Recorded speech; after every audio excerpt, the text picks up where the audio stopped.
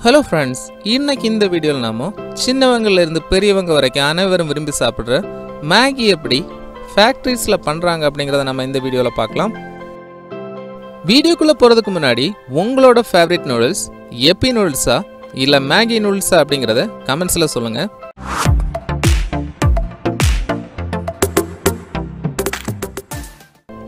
Maggi முதன் முதலாக தோணுது சுவிட்சர்லாண்டில் தான் நெஸ்லின்னு சொல்கிற ஒரு கம்பெனி தான் இந்த மேகி நூடுல்ஸை வாங்குறாங்க. இப்போ அது ஒரு நெஸ்லி ப்ராடக்ட் எப்பி நூடுல்ஸ்னு சொல்கிறது ஐடிசின்னு சொல்கிற ஒரு Indian company product Maggi noodles ப்ரொடக்ஷனோட first step நம்பிக்கையான சப்ளையர்ஸுக்கிட்ட இருந்து குவாலிட்டியான இன்க்ரீடியன்ஸ் வாங்குறது தான். நூடுல்ஸ் ப்ரொடக்ஷன் சுத்தமாகவும் ஹைஜீனிக்காகவும் இருக்கிறதுக்காக எல்லா விதமான ப்ரோட்டோகால்ஸையும் ஃபாலோ பண்ணுறாங்க ஸ்டோரில் இருக்கிற ரா மெட்டீரியல்ஸ் எல்லாம் அங்கே இருக்கிற லேப் டெக்னீஷியன்ஸ் கரெக்டாக செக் பண்ணி அது குவாலிட்டியாக ஸ்டாண்டர்டாக இருக்குது அப்படிங்கிறத என்ஷூர் பண்ணதுக்கப்புறம் தான் ப்ரொடக்ஷனுக்கே சென்ட் பண்ணுவாங்க. பலவிதமான டெஸ்ட் பண்ண பிறகு கோதுமை மாவை ரீஃபைன் பண்ணி அது கூட நல்லா பியூரான வாட்டரை மிக்ஸ் பண்ணி சப்பாத்திக்கு மாவு பிசைகிற மாதிரி பெரிய பெரிய மிஷின்ஸ் மூலமாக மாவு பிசைஞ்சு எடுக்கப்படுது. மெஷின் மூலமாக மெல்லிய ஷீட்டாக ரோல் பண்ணப்படுது. அதுக்கப்புறமா சம அளவில் ஸ்ப்ளிட் பண்ணப்படுது. ஸ்ப்ளிட் பண்ணப்பட்ட பிறகு ஸ்லிட்டிங் மிஷினில் இருக்கிற ரோலர் நாம் சாப்பிட்ற நூடுல்ஸ் சைஸுக்கு அதை ஷேப் பண்ணிடுது.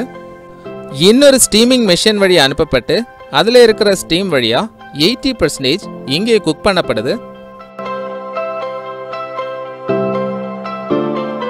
எயிட்டி பர்சன்டேஜ் ஃபேக்ட்ரியிலே குக் பண்ணப்பட்டு வரதுனால நாம் வீட்டில் டூ மினிட்ஸில் ப்ரிப்பேர் பண்ணிடலாம் அப்படின்னு சொல்கிறாங்க உங்களால் டூ மினிட்ஸில் பண்ண முடியுதா அப்படிங்கிறத கமெண்ட்ஸில் சொல்லுங்கள் நெக்ஸ்ட் ஸ்டேஜில் கட் பண்ணுறாங்க தென் ஃபோல்ட் பண்ணப்படுது அதுக்கப்புறமா மோல்ட் பண்ணி அதை ப்ரீ ட்ரை பண்ணி அதோட ஃபேட் கண்டென்ட்டை ரிடியூஸ் பண்ணுறாங்க இந்த மேகி நூடுல்ஸுக்கு டேஸ்ட் கொடுக்குறதே அதில் நாம் போடுற மசாலா தான். அந்த மசாலாயை எப்படி ஃபேக்ட்ரியில் ப்ரிப்பேர் பண்ணுறாங்க அப்படிங்கிறத நாம் பார்க்கலாம்.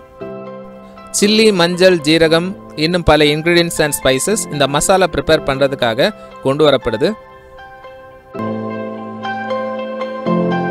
தரமான மசாலா ப்ரிப்பேர் பண்ணுறதுக்காக ஒவ்வொரு மசாலாவும் தனித்தனியாக ஃப்ரை பண்ணப்படுது. ஃப்ரை பண்ணப்பட்டதுக்கப்புறமா ஒவ்வொரு மசாலாவும் தனித்தனியாக பொடி பண்ணப்படுது.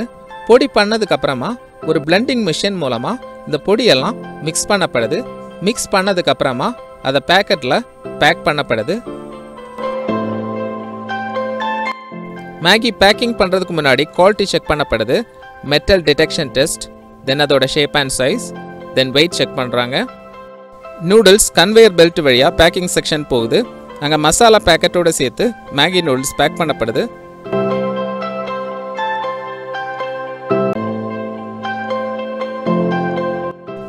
பேக் பண்ணப்பட்ட பிறகு ஒரு சில பேக்கெட்ஸ் எடுத்து அதோட டேஸ்ட் அண்ட் குவாலிட்டி எல்லாம் செக் பண்ணுறாங்க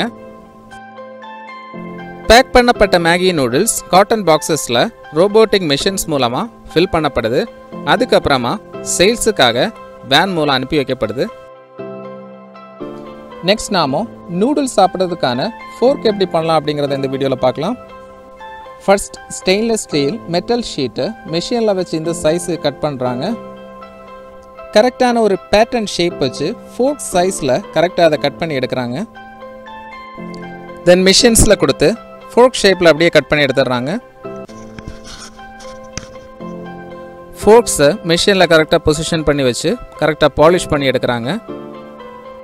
பாலிஷ் பண்ணப்பட்ட ஃபோர்க்ஸை இந்த மிஷின்ஸில் வச்சு கரெக்டான அதுக்கு ஒரு பெண்ட் ஷேப் கொடுக்குறாங்க. ஃபோர்க்குக்கு தேவையான பெண்ட் ஷேப். ஃபோர்க்ஸை ரோலிங் மிஷினில் வச்சு அதுக்கு தேவையான திக்னஸுக்கு அதை ரெடியூஸ் பண்ணுறாங்க இப்படி ப்ரொடியூஸ் பண்ண ஃபோர்க்ஸ் எல்லாத்தையும் சுடு தண்ணியில் வச்சு நல்லா க்ளீன் பண்ணி எடுக்கிறாங்க. ஹாட் வாட்டர் அப்ளை பண்ணி ஃபோர்க்ஸ் எல்லாத்தையும் க்ளீன் பண்ணதுக்கப்புறமா நல்லா கூல் வாட்டர் அப்ளை பண்ணி அதை கூல் டவுன் பண்ணுறாங்க தென் அந்த ஃபோர்க்ஸை யூஸ் பண்ண ஆரம்பிப்பாங்க.